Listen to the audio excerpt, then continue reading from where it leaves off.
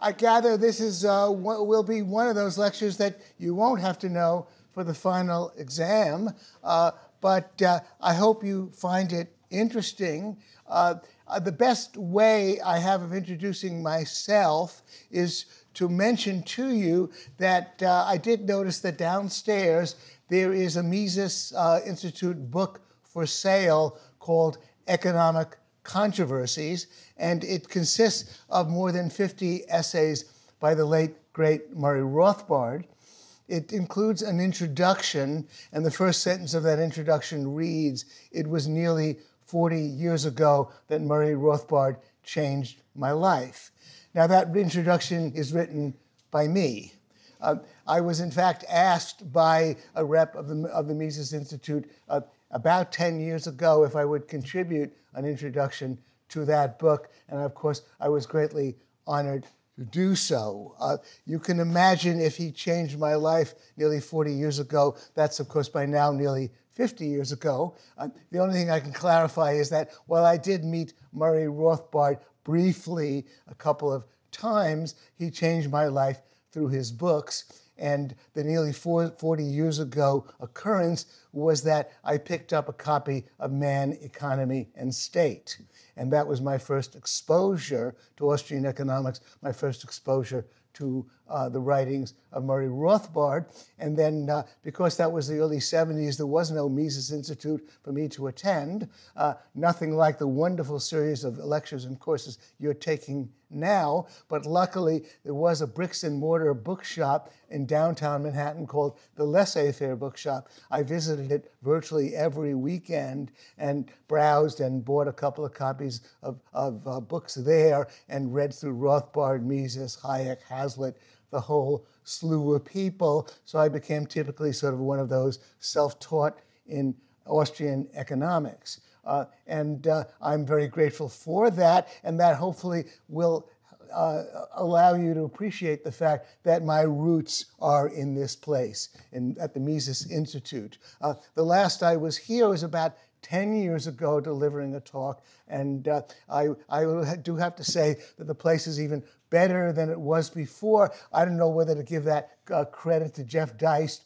More than likely, what's really happened is that a whole generation of people have grown up uh, with uh, Austrian economics, and that's why you had such a uh, you've been having such a rich assortment of lectures from so many brilliant people. Uh, I've been sitting here all day enjoying them. Unfortunately, I've got to go back to New York City tomorrow, but I'd love to be would love to have stayed another couple of days and listened to all these wonderful talks. Well, I'm going to build on them, I hope, a little bit, uh, and say further only that uh, I had a kind of an odd career. I left the academy and uh, went to Wall Street, but then I spent uh, more than a quarter of a century covering uh, the, uh, the data for Barron's Financial Weekly, doing a column, and, and in fact, I was book review editor, and I was privileged to invite a few Mises people to write book reviews for Barron's.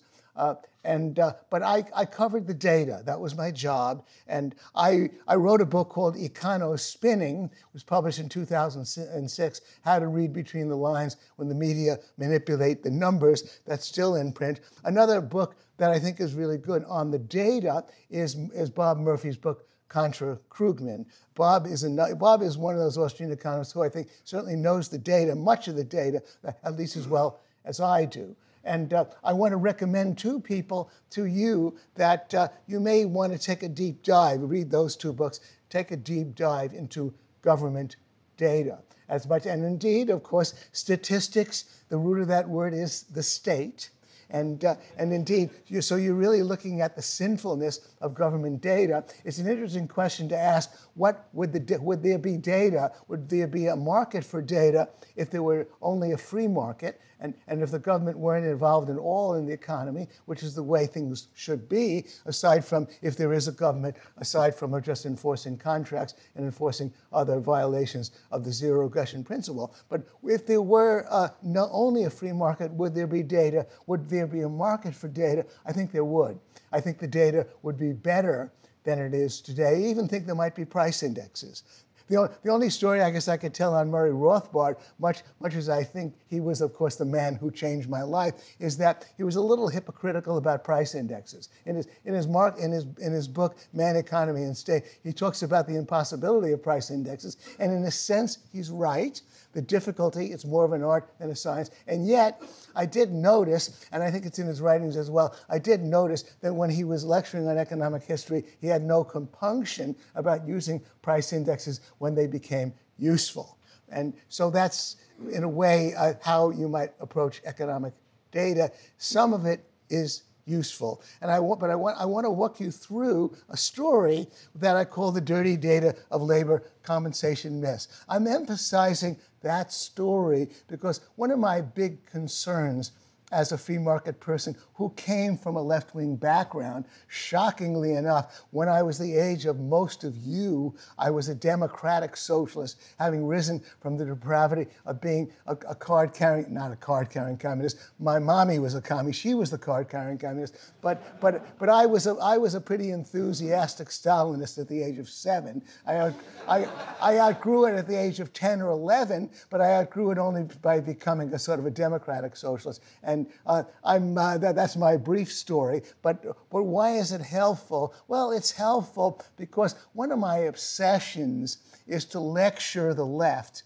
on how capitalism really is on the side of the little guy. That, that, it, that my brief answer to many people who ask me, why are you pro free market? Why are you a libertarian? I, I like to say, because I care about the well being of the broad masses of people. That's why I'm a libertarian. Because it, when we talk about a lot of sort of rarefied things, all of many of which are very important, there's this sort of gut level reaction on the part of the left that, oh, well, you're talking about, you know, economics for smart people. You're, you're talking about the, the economics for the few and not for the many. You know, you, you, uh, you know, innovative, smart people have a lot of fun under capitalism. But how about the ordinary person? How does that person cope under capitalism? Well, uh, I believe that. I believe that primarily, if you if you could tote up uh, the, the, benefits and and and, uh, and other aspects of free market capitalism, you could sort of subjectively declare that its main attribute is that it brings equality. It, it, it lifts the living standards of the broad masses of people. That's really its principal magic.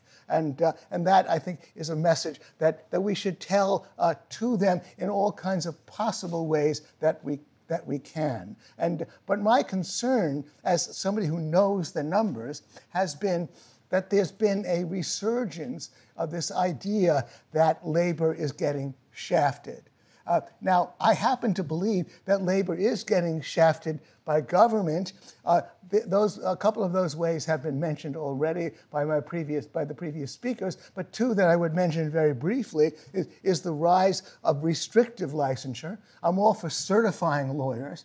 Uh, but, but I don't believe in restrictive licensure. I believe that most of us could practice real estate and divorce law. If we worked for a, a law firm for a few months, we'd learn the ropes. We don't have to go to college and law school to do it. But, but even more perniciously, uh, the, uh, the, about 5% of jobs were under a restrictive licensure of one sort or another about 50 years ago, and now it's up to about 25%. Now, I believe that, that what that does is it really does inhibit the mobility of labor, uh, because we're talking about, of course, the focus is usually on being a manicurist, being an assistant to a funeral director, the kind of jobs that ordinary people can get, much more difficult to get, much more costly to acquire because you have to meet all kinds of state requirements. The other one, more subtly, which the progressives miss, is, is the weird fact that so much migration goes to areas of the country where housing is cheap.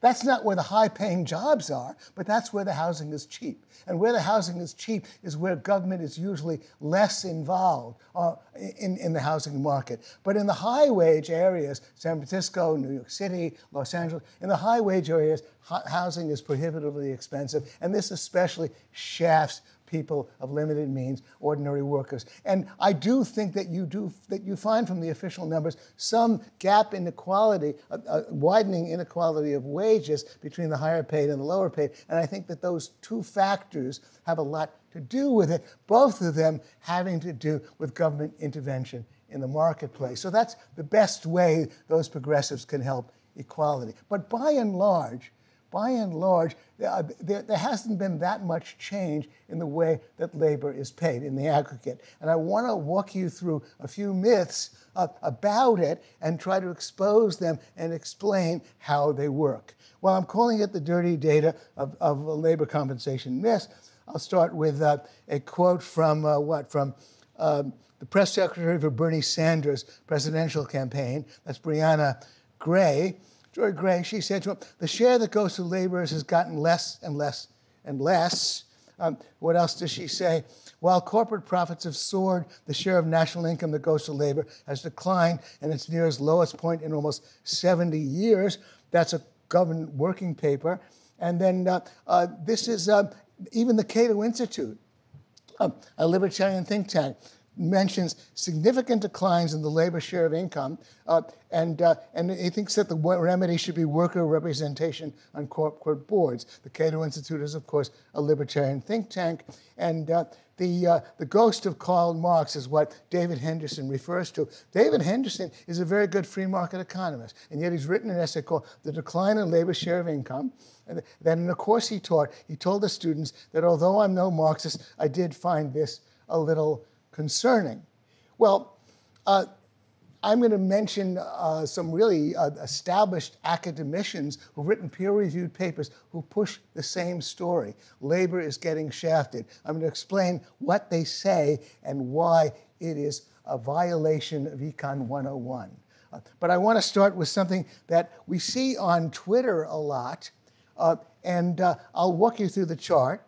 Uh, you see it on Twitter, you see it from the Economic Policy Institute, uh, left wing institutes, and it really has not been challenged. This is the official story. The red line tracks, tracks the real output per hour of all persons. Uh, that's inflation adjusted. And this is from the Bureau of Labor Statistics, directly from them. Uh, and the uh, blue line tracks real compensation per hour. That too is inflation adjusted. Uh, the outrageous fact is that from uh, late 1940s to the early 1970s, the two tracked each other. But then uh, real compensation per hour greatly lagged uh, real output per hour of all persons. You can see the red line rising, the blue line lagging. And I will tell you, the funny thing is that I've seen a number of free market people who connect this with, uh, with, with, Nixon's uh, lifting of the gold window, uh, closing the gold window, I should say. Uh, that in, in, the early 70s, uh, uh, up until the early 70s, the Bretton Woods Agreement obligated the US government to, to redeem in gold any foreigners holding dollars, and then Nixon abrogated that. Now, that might have caused a lot of problems, but what's interesting is that I've seen libertarians swear by this chart and declare that, that's all because Nixon uh, closed the gold window. Uh, so nobody doubts that it must be true. After all, it's in, both, both those series are inflation adjusted, and uh, they both come from the Bureau of Labor Statistics. And uh, look at what happened. Suddenly, labor was not being paid its output per hour in real terms. Well, um, now let me tell the unofficial story. Uh, the red line uh, tracks output per hour of all persons in nominal dollars. And uh, the, uh, is that the red line? Yeah, the red line, yeah. And the blue line tracks, uh, yeah, tracks compensation per hour in nominal dollars. Now, that's also from the Bureau of Labor Statistics. What have I done? Very little. All I did was take out the inflation adjustment from both of those series. All I did was, was restore them to nominal dollars. No longer inflation adjusted, just how do they fare in nominal dollars? Now, uh, maybe you don't have to be an Austrian to recognize that business sells its goods and values its goods in nominal dollars. Business pays its wages in nominal dollars. And, and indeed, as any sort of you know uh, macroeconomist worth his salt would say, a nominal versus a nominal equals a real. Nominal divided by nominal equals a real. You're, you're lining up nominal dollars year by year by year, and uh, they're, uh, they, they, they are, uh, in real terms, uh, uh, reflect each other. And again, to repeat, wages are paid in nominal dollars, output is sold in nominal dollars, and suddenly those two lines are tracking each other. If you, if, you, if you calculate them in terms of percentage rises, you'll, you'll find that since the 1970s, the percentage rise of labor compensation in nominal dollars has tracked the, the percentage rise of labor output in nominal dollars. So that's all I did.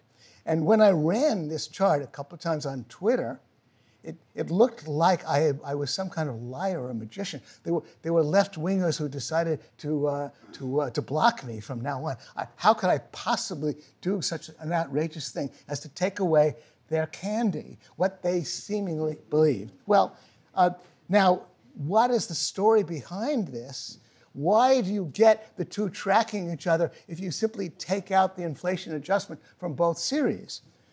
What you, what you find is that these numbers have been kept, so to speak, according to two sets of books. The, the, the labor compensation number has been deflated by this consumer price index uh, that the BLS also publishes, Bureau of Labor The non-farm business sector output has been de deflated by something called the implicit price deflator. And you find that you find that up until the early 1970s, those two price indexes were approximately tracking each other. But then you find that the CPI took off and the implicit price deflator remained uh, relatively sluggish. And as you may know, in order to inflation adjust a number, you divide that number, compensation, by the, the CPI. You divide uh, output by the implicit price deflator. And so it's all in the fact that which might be a story in itself if you believe these price indexes, that something happened to the, to the prices that, that, that, that were charged for consumer goods and something else happened to the value uh, in, in real terms of the output of industry. All of that is interesting, potentially. But if you're going to make a point about labor being shafted, about how labor is not being paid according to its productivity, isn't it much simpler to line up the nominal dollars with the nominal dollars and then see what you get? Again, because goods are sold in nominal dollars and, uh, and, and, and, and, uh, and people are paid in nominal dollars. So again, this, this is something if you, I, I, will guarantee you that if you troll through left-wing, uh, left-oriented tweets, you're going to find this chart, a chart like this repeated over and over again. It's rock-ribbed fact. Labor is getting shafted. It's not being paid.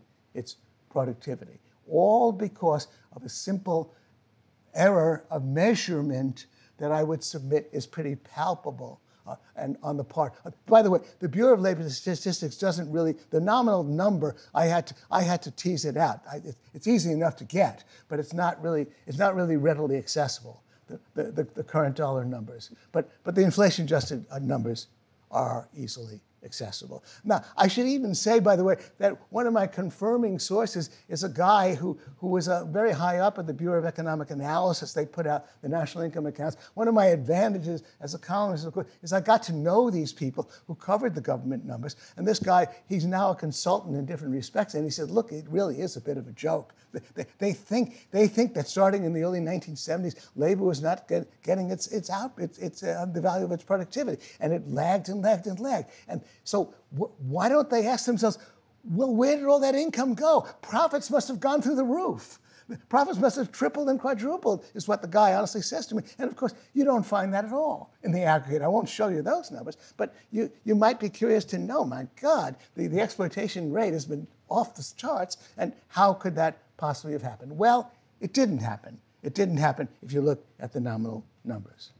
Uh, well, now I want to get into something a little bit more subtle uh, that, uh, that, that really arises from the quote that I, uh, that I began with. Uh, and uh, it, it, begins with the idea of a ratio of labor share. Um, and uh, I, I, I, believe it's potentially a legitimate calculation, labor share, as long as you accept the broad aggregate numbers of the Bureau of Economic Analysis, which keeps the GDP numbers and keeps the broad macro numbers. Labor share is uh, calculated uh, by, uh, by, first with the numerator being a measure of labor compensation, including benefits. Now, I, I saw Paul Krugman uh, cite labor uh, compensation excluding benefits.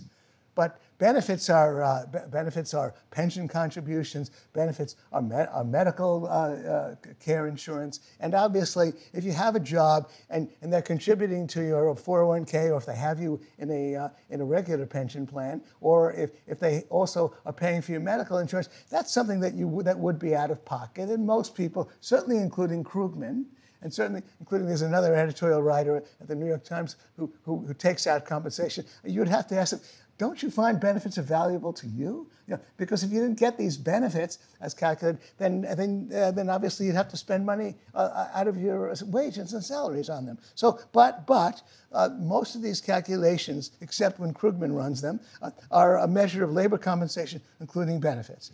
But then there's the denominator. Uh, the denominator is uh, the measure of a measure of income and output, and that's where the problem arises. Uh, but uh, now let me get to uh, a quote from There's Something Odd, that the, the, there is a dissent from one mainstream economist. I began with quotes from different sources, and I'm going to get to some others saying that labor is not labor's share is in the, is in the it, it has been has been declining for the last 20, 30 years. That labor that somehow or other labor used to get a certain share of income, and now it's getting far less. But the interesting thing is that the, the, only dissenting source that I've come across is a assistant chief economist at the Bureau of, Economic Analysis, which generates the numbers. He's written a paper in which he has concluded that labor's share does remain within its historical range.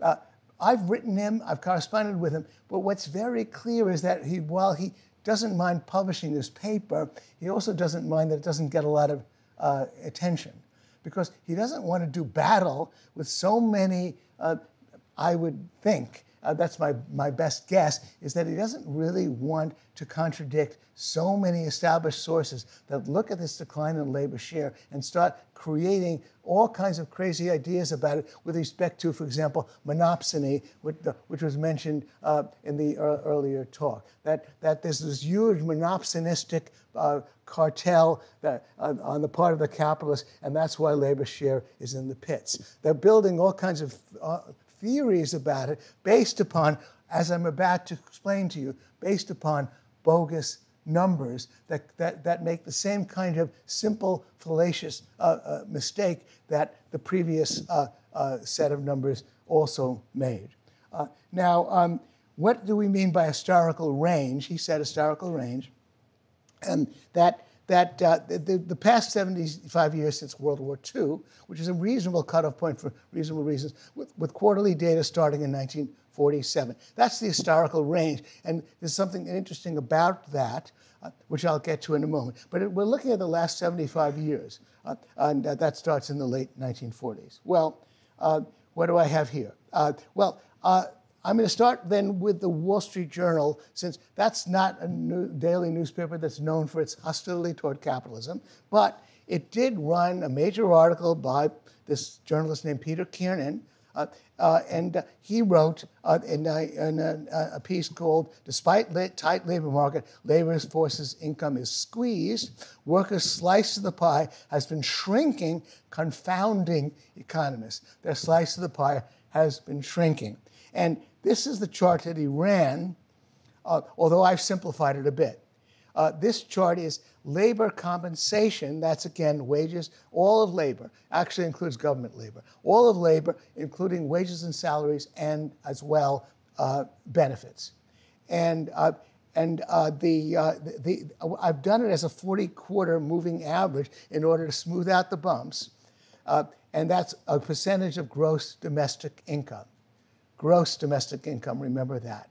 Uh, and what it shows, and consistent with what he has said, is that labor share was uh, its four, quarter, four quarter, 40 quarter or 10 year moving average was you know at 53 percent, and then now it's down to uh, you know only uh, 50 uh, what 52 percent. It's it, it, it was rising here and then it fell, and now I've drawn a red line at 53.02 and showing that it's at pretty much at a 75 year low. And that's, that's what he has run. And that's what you find in his Wall Street Journal article. But now, again, notice that, I, that the denominator is gross domestic income. Now, we're going to do a little Econ 101. Now, notice something else. This is the same data, except the denominator is net domestic income. Uh, labor compensation as a percentage of net domestic income. And uh, it now looks noticeably different. Uh, and I'll, of course, explain the difference between gross and net domestic income in a moment, but examine it and now recognize one thing that, that labor compensation is now 63.16% of net domestic income, and it's a higher number than any number through uh, 1970. It's, a, it's, it's, equal to or higher than any number through 1970. And uh, what we're going to find by looking at other examples is something really rather odd and, and somewhat embarrassing to progressives. If you think this is a valid measure and it is approximately correct, then what is it telling us? It's actually telling us that over the last 10 to 20 years, as conventionally measured, labor compensation as a percentage of net domestic income is about where it was in the 1950s and 1960s, actually a little bit higher. It tells us further that labor compensation into the 70s and 80s, 90s rose and then fell back to the levels of the 50s and 60s. Now, why is this extremely embarrassing to progressives? Because they are constantly telling us that the 1950s and 60s are the decades we've got to return to. That's when, that's when unions in the private sector represented uh, about one third of the labor force, and now it's down to 6%.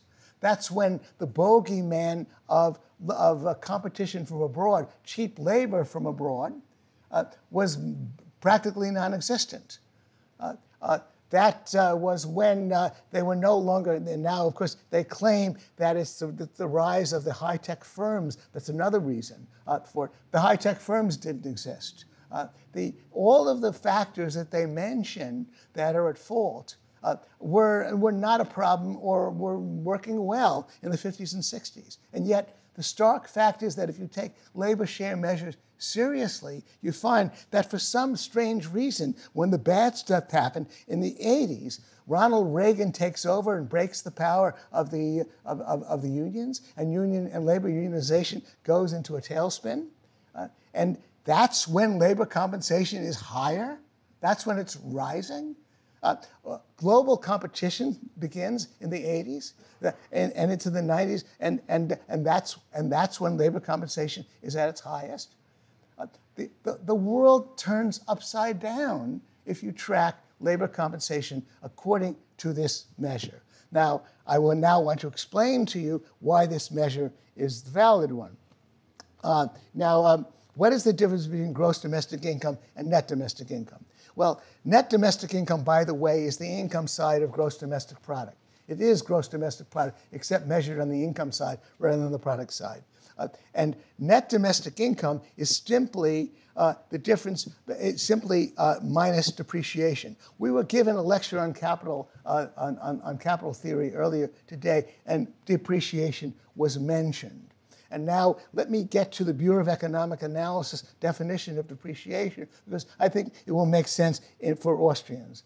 Uh, the Bureau of Economic Analysis in their handbook says that the consumption of fixed capital or depreciation is the charge for the using up of private and government fixed capital located in the United States. It is the decline in the value of the stock of fixed assets due to wear and tear, obsolescence, accidental, accidental damage, and aging. Now, uh, let's get to another interesting concept called national income. The Bureau of Economic Analysis uh, defines national income as the sum of all incomes net of the consumption of fixed capital earned in production. Earned in production. Now, what are we really saying? What we're really saying is that any measure of income, if you are going to do macro measures, I know that Austrians book this, but if you're going to do any kind of measure for any sector, why do you want to, uh, to subtract the allowance for depreciation? Because if you don't make an allowance for depreciation, as we were told earlier today, the economy will ultimately sink into oblivion. You have to make an allowance to shore up the depreciation of capital. The income that's left after that allowance is the only income that's really available. And, and interestingly enough, the, the Bureau of Economic Analysis and conventional measures make an allowance for this by making a distinction between gross and net gross domestic product and net domestic product, gross domestic product and net domestic income. Now, again, what I showed you was that if you take net domestic income in your denominator, you're going to get a very different result for labor share. And let me go over that a little bit more. Gross domestic product equals gross domestic income, net domestic product equals net domestic income, and they are the same measures, although they're measured in different, conceptually, they're the same. And then uh, what does the Bureau of Economic Analysis say about net domestic product? It may be viewed as an estimate of sustainable product, which is a rough measure of the level of consumption that can be maintained while leaving capital assets intact. It's, the, it's the, you leaving capital assets intact because you are making an allowance for the depreciation of capital that you're shoring up. And now, what is the other, why do I get a difference when I put net domestic income into the, into the denominator versus gross domestic income? Something else that's gone on in the US economy, which I think is valid. Depreciation has been taking an increasing bite out of gross domestic income. So that, again, the net result is that here's net domestic income has declined as a share of gross domestic income. Now, why is that? Uh, yeah, that's because uh, there's been increase in investment in equipment and software as a percentage of private sector capital investment. This is in nominal dollars. And uh, we are looking, we, in, in the 50s and 60s, there was an emphasis on the building of structures, and they depreciate very slowly. Over the last 30 years, there's been a, a, a, huge tilt toward investment in equipment and software. Those are also capital goods, I would maintain, and they depreciate very quickly. And so that is the reason why, if you are going to use an historical measure of labor share, you have to use a net figure rather than a gross figure. Because, because, the, because the net figure is the true measure of the income and product available, and the net figure has declined. So that if you do the math, if the, if the, net, if the, net, if the net is lower and lower, then, then the percentage becomes very different if the denominator, if the numerator rather, is the same. Hopefully you grasp that math. Well, what else do I have here to present to you? Yeah, uh, well, again, this is the same guy. Actually, his name is Benjamin Bridgman. He says recent net labor share is within its historical range, whereas gross share is at its low lowest level. I removed depreciation since paying for it only returns the economy to the production possibilities of the previous period. Using net production thus only includes output, which can be used for current consumption or expanding future production. But the experts still stick, stick to GDP. Now, here, here is a quote from a peer reviewed paper from, from a group of five economists with huge prestige, and they write The fall of labor's share of GDP in the United States and many other countries in recent decades is well, well documented, but its causes remain uncertain. They then go on to say that it's all because of the rise of superstar firms. Uh, they, they are quoting, they're using gross domestic product as their measure. They are right, it's well documented. But what, they, what these superstar economists have apparently missed is that gross domestic product is no longer a, a continuous measure for labor share to, to, to, be put into the denominator. And again, that's because of the, the new nature of investment and the fact that depreciation is taking an increasing bite out of it. I could send them this chart, and their whole thesis about superstar firms would fall apart. This is labor compensation as a share of net domestic product. Again, it tells the same story.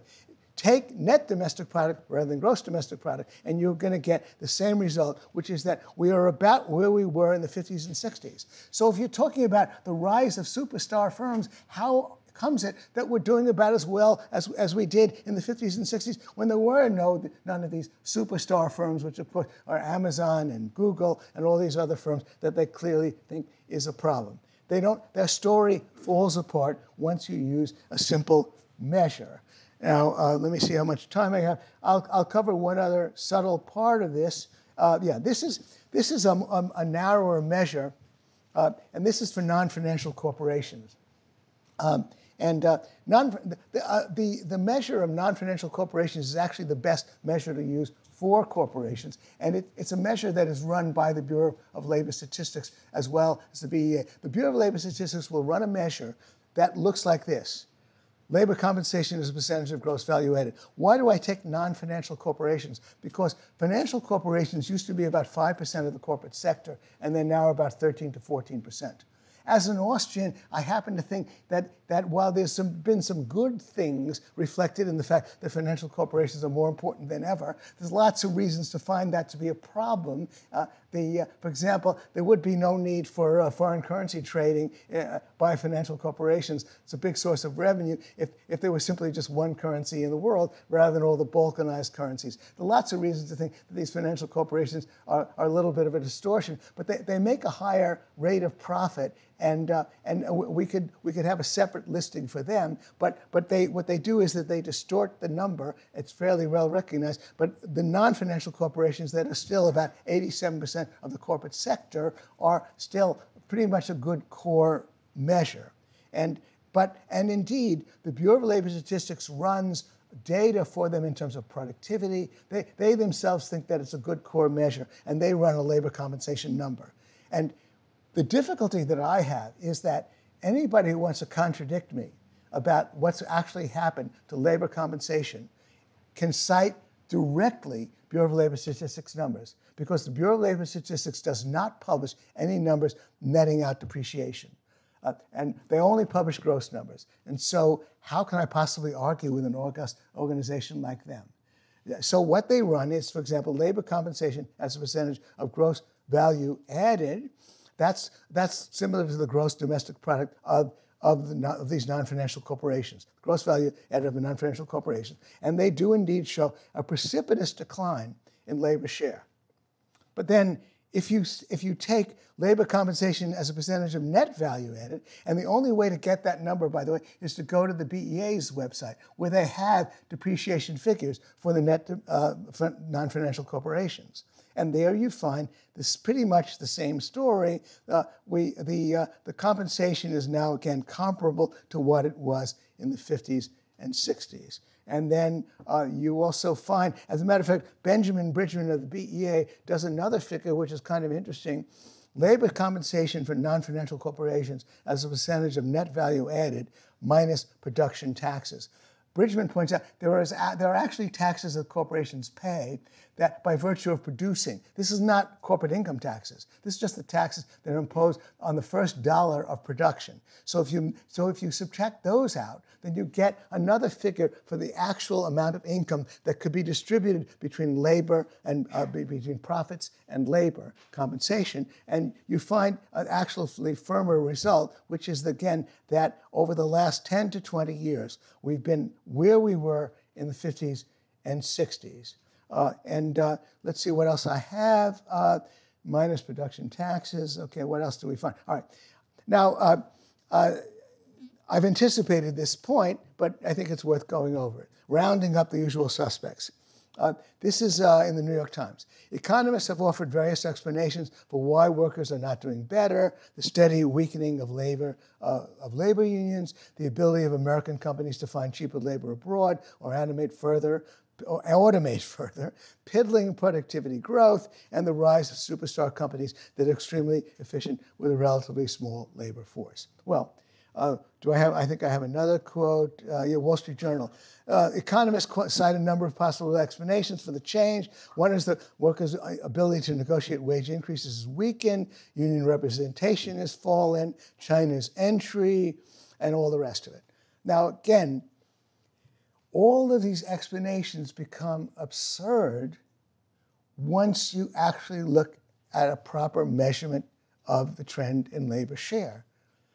They become absurd because if because if you ask, well, what was happening to labor share when none of these were, were operating, or when they were operating in reverse, when unions were strong, you find that labor share is doing about as well, if not somewhat better, than it did in the 1950s and 60s. And what else do I have? Yeah, uh, yeah. This is for nine. I guess this is my final chart. Uh, the glory days of corporate profits. Uh, uh this is another this is the flip side of that anomaly. Uh, this is again is for non-financial corporations because they're a decent uh, series, a, a, a, relatively constant series. This is pre-tax profits as a percentage of the actual net value add, the real income of non-financial corporations. Well, notice that the profits were highest in the 50s and 60s. That the profits fell in the 70s and 80s, and we're now risen a bit, but we're now uh, uh, uh, lower than we're still lower than we were in the 50s and 60s. That's actually the story of corporate profits. Uh, because again, you might want to look on the flip side of all this. We began by talking about how labor shafted because of they're not getting their productivity.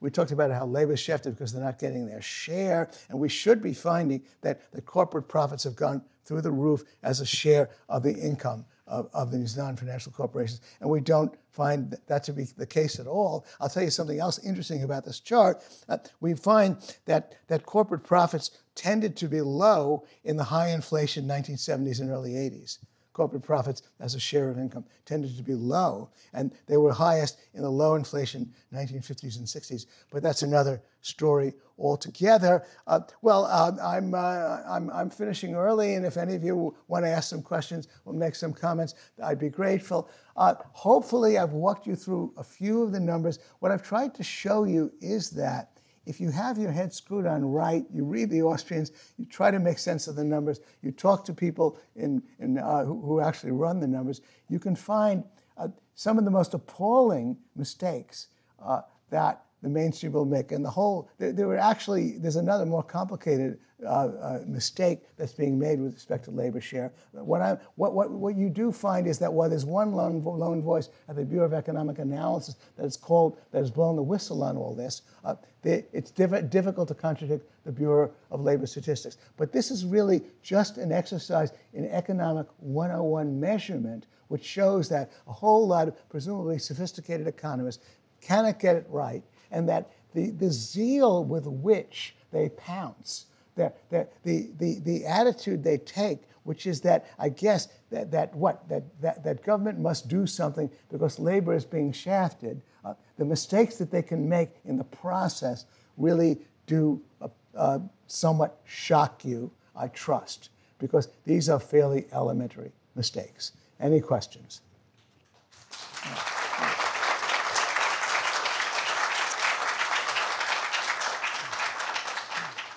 So, do you have any like reading recommendations that can like direct us, uh, or like resources on how to interpret uh, certain types of data and like aggregate measures? Yeah, yeah. Well, I mean, as a matter of fact, I, I mean, the only, uh, I, as I mentioned to you, the only good titles that I can recommend. I'm going to try to think of some others, uh, but uh, the good titles I can recommend are um, my book, Econospinning, which is still in print and uh, and Bob Murphy's uh, because Bob Murphy really does a dive into the data because uh, Krugman covered the data and uh, and and Murphy covers them very well also. Uh, and I mean the odd part of it is that if you, as I say in this particular case, I've been quoting from the from the Bureau of Economic Analysis handbook, uh, and uh, uh, you know, the, the, I should say the Bureau of Economic Analysis is uh, the agency that's part of the Commerce Department, and they they cover uh, the the broad aggregate numbers. And they have their own price measure. Then there's the Bureau of Labor Statistics that covers the unemployment rate and then does productivity. And it also issues its CPI. The Bureau of Economic Analysis is a much more sophisticated agency than the Bureau of Labor Statistics. And actually, if you read their handbook, uh, which, uh, which you'll find online, where they explain the data, uh, the quotes that I gave you, I think, were pretty good pretty sensible. And uh, so I, I, guess the third thing to recommend is uh, is reading the Bureau of Economic Analysis handbook because it is uh, it, it does explain uh, the data pretty well. It's got about seven chapters, and if you go, because all the I, I've, I most of these data come from Haver Analytics. They've given me a free subscription to their data, and it's very user friendly. But of course, you can get uh, you can get their data, the, the BEA data on uh, BEA Interactive. They have all their all their uh, their data that that's on spreadsheets, and of course, then a lot of people use FRED. So I guess those are three titles. anyway, anybody else? Yeah, yeah. Hi, I was born in 1995, hence I'm largely ignorant of history before then, besides what I've read in books. So I'm largely ignorant. Did you ever hear World War II? No? I mean, yes, but I'm largely oh. ignorant of like economics history. Oh, so okay. you know, if you read a standard history book, you mostly The Great Depression. Have you heard of that? yes, yes, I've heard of the Great Depression. How- Nevertheless, like I'm ignorant of any charts that correspond to. Well, yeah. So that's the next thing. A lot of Those this. You know, I was born in 1944. It's true, and uh, this data starts in 1947. I was only three years old then. But but that right. but that and I wasn't tracking it then. I was a Stalinist at the time, as you know. but but but but uh, but of course you can now actually, of course, look at history through this data. But go ahead. What was it? Yes, uh, my question is, what is your interpretation for the uh, drops in uh, corporate profits from roughly 65 to 70, and then slightly after 95 to slightly after 2000? Yes, good question. Yeah, I, I, I guess I'm not to finesse uh, uh, uh, most of your excellent question.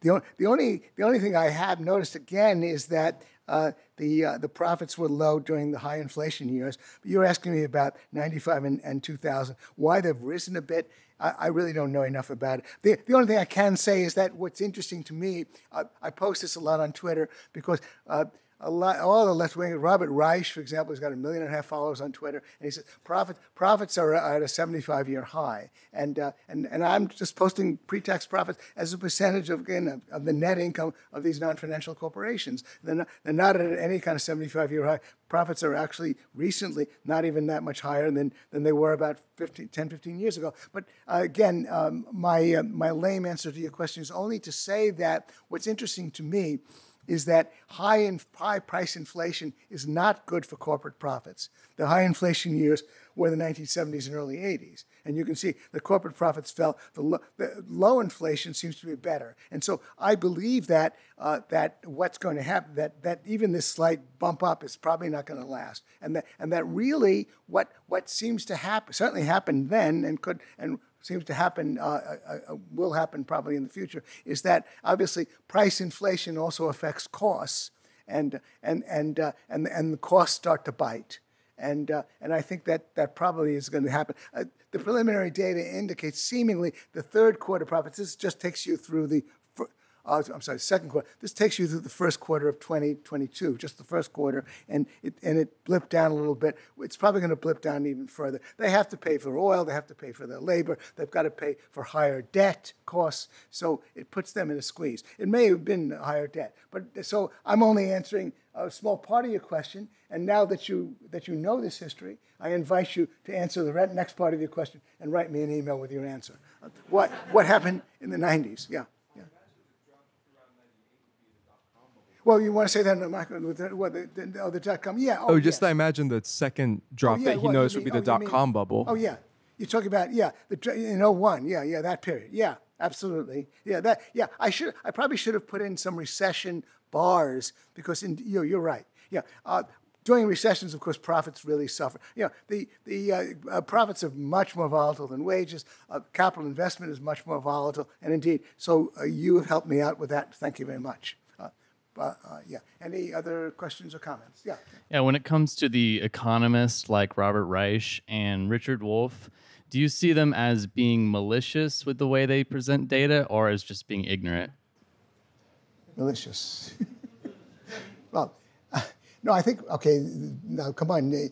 First of all, why you're generalizing about the two of them? Maybe one is malicious and the other is ignorant. And, and, and, and really, uh, okay, Richard Wolff is both malicious and ignorant. Now, don't, now, now what's, I mean, this is, now, why do you mention, I, I, I debated Richard Wolff on socialism, and, and it's gotten nearly 5.2 million uh, views on YouTube and a commensurate number of, of, uh, of podcast downloads. And I owe it all to Richard Wolff, I think. I debated two other socialists, and that got about 100,000 views. But with Richard Wolff, it takes off. I think I'm coattail riding on Richard Wolff. Uh, but, but interestingly enough, uh, a week after our debate, his, give you a very long-winded answer. A week after our debate, he delivered a lecture in downtown Manhattan, and uh, and for 10 minutes he talked about the debate he'd had with a libertarian. And and and I, and I, I have a video of that that I post because it was available on video. I, I post those 10 minutes, and I, and I offer a, a, a free lifetime subscription to the Soho Forum debates for anybody who can verify a single thing that he recalls. A week after the debate, uh, he, he invented a completely fictitious narrative about what I had said and what he had said. And uh, okay, that could be denial. Maybe that's not viciousness. But but I, I like I was told I was told by a, by a, a guy in, in the same department, told by a progressive socialist who used to be in the department with Richard Wolff at UMass, that everybody hated him, nobody was talking to him, he's a vicious guy. And so, so that's the real, the real evidence. But Robert Reich actually, uh, so he's both ignorant and vicious, but Robert Reich really, uh, you know, I've seen him appear, uh, and, uh, you know, I, I, bridle every time somebody insults him for his height. You know, I, th- I, think it reflects well on him that he's four foot ten, and that he got, and then and then he got this far as he did in life. I, I think it's, re- I think anybody who do, who talks like that is vicious. And so I would defend this guy completely on that basis. And I've heard him speak. You know, he's a little bit smug. Uh, he, he, everything comes out of his butt. He, he doesn't look anything up. But, but, he, but he, he's clearly just a sort of like a religious fanatic. He, he, he, believes that if he thinks it's right, then it must be right. And every once in a while he's quoting an article or something like that. But most of the time uh, he quotes nothing. He cites numbers and quotes nothing. Really, the most uh, baffling thing is that he does have 1.5 million followers, and that and that people seem to believe what he writes. So I probably should get over the habit of running a chart that contradicts what he just said. I do that a lot on on Twitter, uh, just to show that these are the actual numbers. But uh, so, okay, so then to sum up my long winded response, uh, Robert Reich is, is ignorant. He's a, he's a kind of a true believer. I'm reading the book, uh, The Righteous Mind uh, by um, uh, Jonathan Haidt. And, uh, and, and Jonathan Haidt makes the argument, and I know Michael Malice highly recommended that book, and Jonathan Haidt basically talks about how, how, how we have the mind. We're like a person on an elephant. The, the, we've, we've got a mind, but really the elephant is telling us what to think. All of our intuitions and all, all, of, our, all of our presumptions, and then we use our mind to rationalize our prejudices, rationalize our, our assumptions and presumptions. And I want to say to Jonathan Haidt, that's true, except it's not true of libertarians. And, and, and, and, and the really, the reason why it's not true of libertarians is that, is that we're stuck with a relatively tragic sense of life. We're stuck with it because, because we, just, we know there's nobody on a white horse, there is no government that can cure prejudice. We know that capitalism punishes bigotry. We know that, but we're not going to deny that, that, that there still will be bigotry that you that, and that usually if there's a lot of bigotry, it comes primarily from the government. So there's really no solution. We we we have to reconcile ourselves to a lot of relatively unhappy conclusions.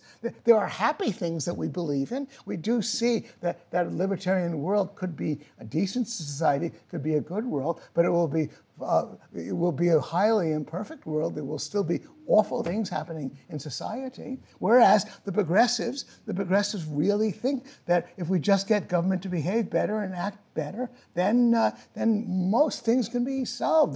There won't be any bigotry because they'll pass a law against it. You know, there won't, there won't be any shootings because they'll take away all the guns. All of those things. So how did I get into that? Yeah, that's because Robert Reich is really like that person in Jonathan Haidt's book, and I guess the followers are like, like uh, that person as well. Our only hope is that maybe if you use your mind, you can, you, you can, uh, you, you can cope with, with the world a little bit better and recognize that libertarianism and the free market is the only answer. And then, as I emphasized today, that the happy fact, the happy fact is that is that capitalism not only brings freedom, it brings prosperity. You know, and then every once in a while, when I get excited, I say, "My God, maybe that's a good reason to believe in God. Maybe capitalism would bring liberty, li- uh, freedom, and not prosperity." Then what would we do? Would be kind of a dilemma. But it brings both. Now, that's, now, that I believe can be empirically and conceptually justified, and that's a relatively happy conclusion. And hopefully, if we preach this to, to the followers of Robert Reich, I don't expect him to learn anything at this point, but preach that to his followers, maybe some of them will listen. And that's my long winded answer to your question. And uh, are there any other questions? We've got about five minutes to go. Yeah, I guess. No. Okay, thank you very much.